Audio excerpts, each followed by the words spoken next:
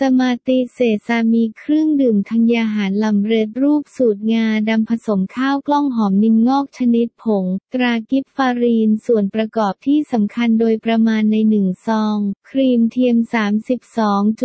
32.00%เกล็ดธัญพืช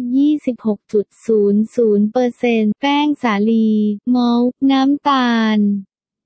แป้งข้าวโพด แป้งถั่วเหลือง แป้งข้าวเจ้า งาดำบด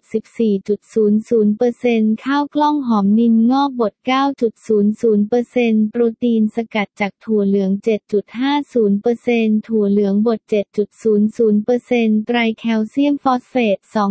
2.75%น้ำมันปลาผสมชนิดผง 0.0407%ไพริดอกซีนไฮโดรคลอไรด์ 0.0030%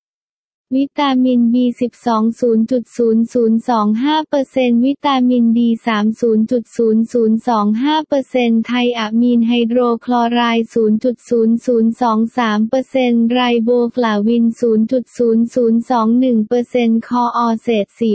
4,598 ส่วน 2,555